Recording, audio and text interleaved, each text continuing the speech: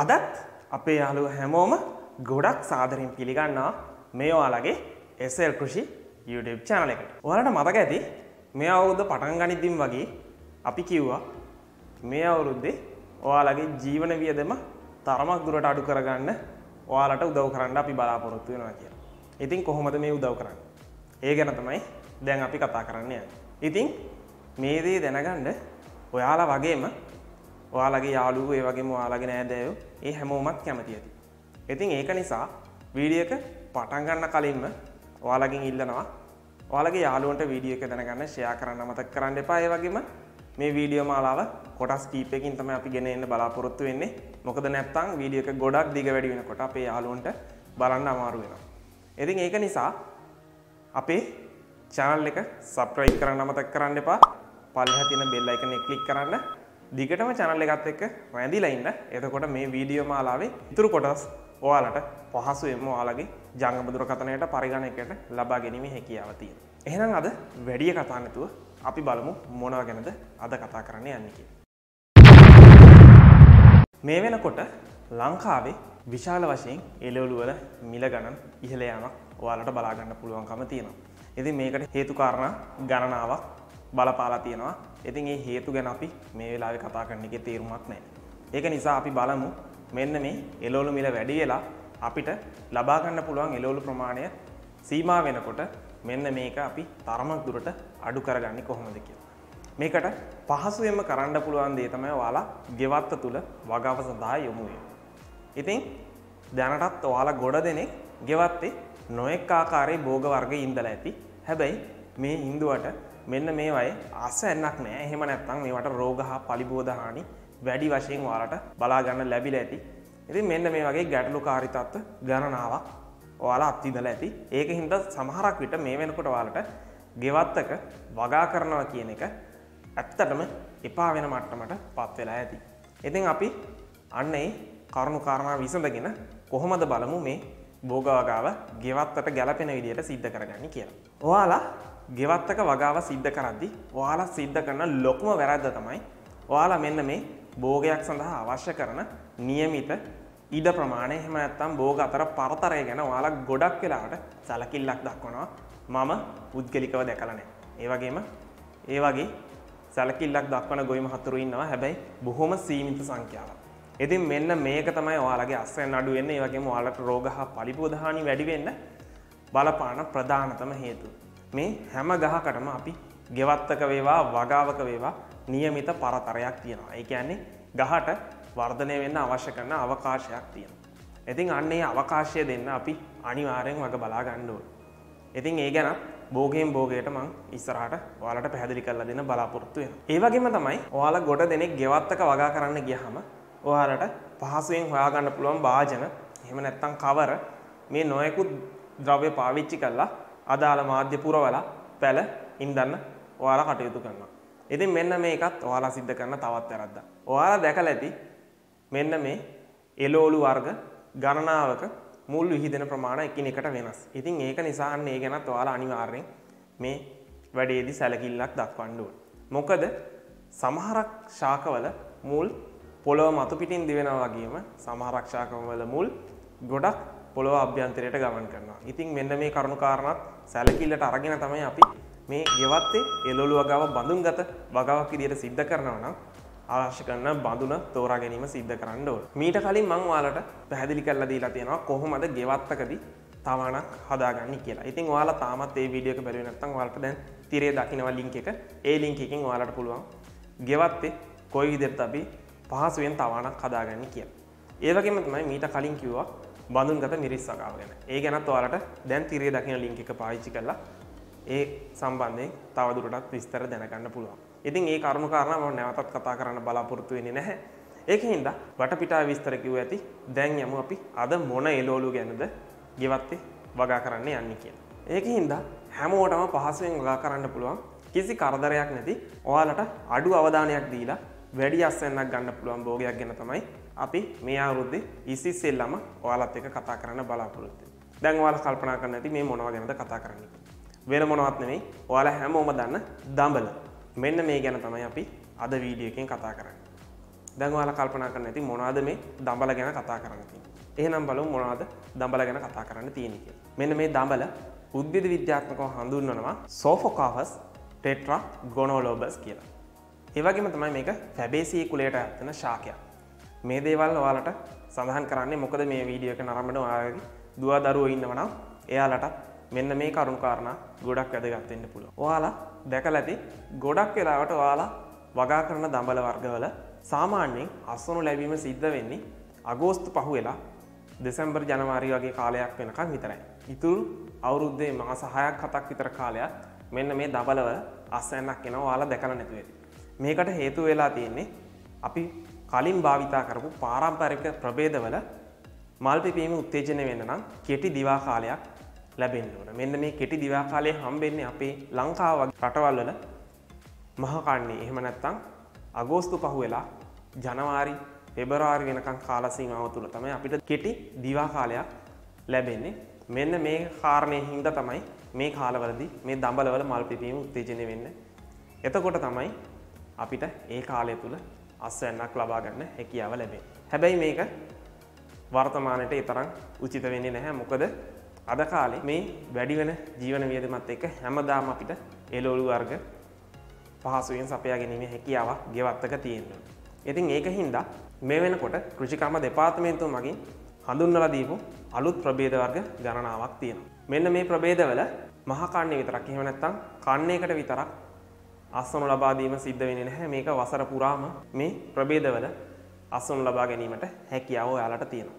මේක ගොඩක් පහසුවෙන් වගා කරන්න පුළුවන් භෝගයක් කිව්වේ මේක ඕනෑම පාසක පහසුවෙන් වගා කරන්න පුළුවන්. හැබැයි වඩාත් සුදුසුයි ඔයාලා පුළුවන් තරම් කාබනික පොහොර පාවිච්චි කළා පස සකස් කර ගැනීම සිද්ධ කරනවා නම් ඒ කියන්නේ පස ලිහිල් කර ගැනීම සිද්ධ කරනවා නම් මෙන්න මේක තව දුරටත් හොඳින් වර්ධනය වීම ඔයාලට බලා ගන්න පුළුවන්. අපි කොයි විදිහට පස සකස් කරගන්න කියලා දන්නේ නැත්නම් ඔයාලා කලින් බලපු වීඩියෝ එකේ ඒ ගැන සඳහන් කරලා තියෙනවා. අන්න ඒ ආකාරයට ඔයාලට පුළුවන් මේ පස සකස් කර ගැනීම සිද්ධ කරන්න. දැන් ඔයාලා කල්පනා කරනවා ඇති මොනවාද මේ අවුරුද්ද පුරාම අස්වැන්න ලැබලා දෙන දබල වර්ග කියලා මේවා කොහෙන්ද හොයාගන්න පුළුවන් කියලා. ඔයාලට මේ දබල වර්ග ශ්‍රී ලංකා කෘෂිකර්ම දෙපාර්තමේන්තුවේ බීජ අලවිසැල් මගින් එහෙම නැත්නම් බීජ සහතික කිරීමේ මධ්‍යස්ථාන මගින් ඔයාලට ලබා ගැනීමේ හැකියාව තියෙනවා. ඉතින් මේවා ලංකාව පුරාම විහිදිලා විසිරලා පවතිනවා. ඒ ඕනම තැනකින් ඔයාලට මේ බීජ ලබා ගැනීමේ හැකියාව තියෙනවා. දැන් බලමු කොහොමද මෙන්න මේ අපේ ගෙදර දැනටත් දඹලා තියෙනවා නම් මේක අවුරුද්ද පුරාම අස්වනු ලබා දෙන ප්‍රභේදයක්ද නැද්ද කියලා බලාගන්න කියලා. මෙන්න මේ වගේ ප්‍රභේද දෙකක් දැනට ලංකාවේ තියෙනවා. ඒ තමයි එක SLS 44 කියන ප්‍රභේදය. මේ ප්‍රභේදේ මල් සුදු පාටයි ඒ වගේම තමයි කරල් කොළ පාටයි. ඊට අමතරව කරලක් සාමාන්‍යයෙන් ග්‍රෑම් 15ක් විතර බරකින් යුක්තයි. මෙන්න මේ SLS 44 කියන ප්‍රභේදය. ඉතින් මෙන්න මේ කරුණු කාරණා අනුව ඔයාලට දැන් තිරේ දකින්නවා. මෙන්න මේ තමයි SLS 44 කියන ප්‍රභේදය. මේක තමයි දැනට ලංකාවේ ගොඩ දෙනෙක් අතර ව්‍යාප්ත වෙලා තියෙන ප්‍රභේදය වෙන්නේ. ඒ වගේම තමයි තවත් ප්‍රභේදයක් කෘෂිකර්ම දෙපාර්තමේන්තුවෙන් හඳුන්වලා දීලා තිනවා. ඒක ක්‍රිෂ්ණ කියලා හඳුන්වනවා. ඉතින් මේ ප්‍රභේදයක් අවුරුද්ද පුරාම මල් හට ගැනීම අස්වනු ලබා ගැනීම හැකියාව තියෙනවා. හැබැයි අපි කලින් කතා කරපු SLS 44ට වඩා මේ ප්‍රභේදය තරමක් වෙනස්. මොකද මේකේ මල් දම් පාටින් යුක්තයි. ඒ වගේම තමයි කරලක් සාමාන්‍ය සෙන්ටිමීටර් 25ක් 27ක් විතර දිගකින් යුක්ත වෙනවා. ඉතින් මෙන්න මේ වගේ සාපේක්ෂව දිගින් වැඩි කරල් ලැබෙන්නේ මෙන්න මේ කියන ක්‍රිෂ්ණ කියන ප්‍රබේදේ. ඒ වගේම තමයි මේ ක්‍රිෂ්ණ කියන ප්‍රබේදේ කරල් දම් පාට. ඒ වගේම මේක හැදෙන බීජත් දම් පාටකින් යුක්තයි. ඇති මෙන්න මේ විදිහට ඔයාලට පුළුවන් ඔයාලා වෙලද පොලෙන් දඹල මිලදී ගන්නවනම් මොනවද මේ මිලදීගත්ත දබල ප්‍රබේදය කියන එක ගැන දලා අවබෝධයක් ලබාගන්න. එහෙනම් බලමු කොහොමද අපි මේ ප්‍රබේද තෝරගත්තර පස්සේ කොයි විදිරත මේ දබල වගාව සිද්ධ කරගන්නේ ගෙවත්තක් ඇතුළි කිය. සාමාන්‍යෙන් අපි වාණජ වගාවක් විදිට වගා කරන්නවනම් හෙක්ටයාරකට දඹල බීජ කිලෝ විසි එකත් විසි තුනත් අතර ප්‍රමාණයක් අවශ්‍ය වෙන. මේ තරම් බීජ ප්‍රමාණයක් වාලා ගෙවත්තක වගා කරද්‍ය අවශ්‍ය වෙන්න වාලා උපරිම වශයෙන් වගා කරන්න හිතන්නේ වැල් දහයක් නම් වාලට බීජ විස්සත් තිහත් අතර ප්‍රමාණයක් හොඳටම ප්‍රමාණවත් වෙනවා. මොකද ඊට වඩා ඔයාලගේ ගෙවත්තක වගා කරන එක ඔයාලට ගෙදර පරිභෝජනය සඳහා අවශ්‍ය වෙන්නේ නැහැ. ඔයාලා ගෙවත්ත තුළ වාණ්ජ කටයුතු සඳහා බෝග වගා කරන්නවන ඔයාලට ඊට වඩා වැඩි වැල් සංඛ්‍යාවක් වගා කර ගැනීමේ හැකියාවක් තියෙනවා. ඉතින් මේ ගෙවත්තක වේවා වාණිජ වගාවක වේවා මොනම ආකාරයේ වගාවක් සිද්ධ කරත් ඔයාලා හොඳින් ගැඹුරට බිම සකස් කිරීම සිද්ධ කරන්නේ. කියන්නේ අඩියක් එකහමාරක්වත් ගැඹුරට අපි වලවල් සැකසීම සිද්ධ කරන්න ඕන ගෙවත්තක නම් වගාවකදී නම් අපි අඩිය එකහමාරක් ගැඹුරට බිම පෙරලලා කැට පොඩි කරලා තවන් පාති සකස් කර ගැනීම සිද්ධ කරගන්න ඕන. මේ විදිහට තවන් පාති සකස් කරාට පස්සේ මේ එක වලක ඇට දෙකක් තුනක් තමයි අපි ඉන්දීම සිද්ධ කරන්නේ ඊට වඩා බීජයේදීම සිද්ධ කරන්නෙත් නෑ ඊට වඩා අඩුවෙන් බීජයේදීම අපි බලාපොරොත්තු වෙන්නෙත් නෑ. ඉතින් මේ විදිහට බීජ ඉන්දන්න නම් මං කලින් සඳහන් කරා නියමිත පරතරයක් මේමයි පවත්ව ගණ්ඩ ඕන කිය. සාමාන්‍යයෙන් අපි වාංජවගාවකදී පැලාතර පරතරය අඩි දෙකක් ඒවගේම පේලි අතර පරතරය අඩි දෙකහ මාරක් වගේ වෙන්න අපි පවත්වා ගැනීම සිද්ධ කරන්න ඕන. එහෙම නැත්තම් මේක අසුන් නෙලීම ආධාරක සිටුවීම අනෙකුත් නඩත්තු කටයුතු ගොඩක් අපහසු වෙනවා. මේ පරතරය නිසි පරිදි පවත්ව ගත්තේ නැත්තම්.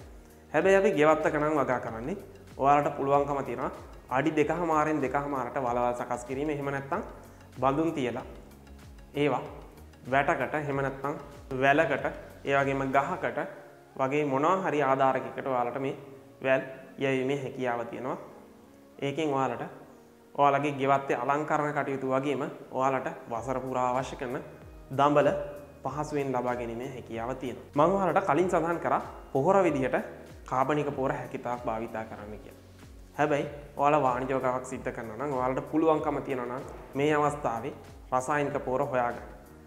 ඔයාලට දැන් මෙන්න මේ තිරේ දකින රසායනික පෝර නිර්දේශය යෙදීමේ හැකියාව තියෙනවා. ඉතින් මේ තිරේ දකින රසායනික පෝර නිර්දේශය ඔයාලට පල්ලෙහා ඩිස්ක්‍රිප්ෂන් එකේ මම ලින්ක් එකක් විදිහට දාලා තියෙනවා. එතනින් ඔයාලා ඕන කෙනෙක්ට මේ පොහොර නිර්දේශය බලාගන්න පුළුවන්කම තියෙන. මතක තියාගන්න මේ දීලා තියෙන පොහොර නිර්දේශය ඉක්මවා යන්න උත්සාහ කරන්න එපා. මොකද මේක අවශ්‍ය කරන මධ්‍යස්ථ පොහොර ප්‍රමාණය තමයි මේ සඳහන් කරලා තියෙන්නේ. මීට වඩා යෙදීම සමහරක් අවස්ථාවලදී පැලවලට අහිත කර වෙන්න පුළුවන්. ඒ වගේම පසට සහ ජලයට අපි ලොකු බලපෑමක් සිද්ධ කරනවා අනවශ්‍ය විදියට පොහොර භාවිතා කරන නිසා. ඒක නිසා ඒ ගැන අවධානය යොමු කරන්න කියලා ඔයාලා හැමෝගෙම ඉල්ලනවා. ඉතින් මේ විදිහට අපි වගා කරගත්ත දඹල සාමාන්‍යයෙන් වියලි කාලගුණයක් යටතේ සතියකට දෙවතාවක්වත් ජල සම්පාදනය කරලා ආරක්ෂා කර ගැනීම සිද්ධ කරන්න ඕන. මේක ගොඩක් පහසු භෝගයක් කියලා සඳහන් කරේ ඔයාලා දැකලා ඇති ඔයාලා ගෙවත්තේ වෙන භෝග වර්ග ලොකු ප්‍රමාණයක් වගා කරත් ගොඩක් වෙලාවට එක්ක කෘමිහානියකට ලක් වෙනවා එහෙම නැත්නම් රෝගහානියකට ලක් වෙලා අසයන නෙලන්න කලින් ගොඩක් වෙලාවට ශාක මිය යනවා. එහෙම නැත්නම් අස්වනු ලබා ගැනීමේදී ශාක මිය යෑම ඔයාලට අත්දකින්න ලැබිලා තියෙනවා.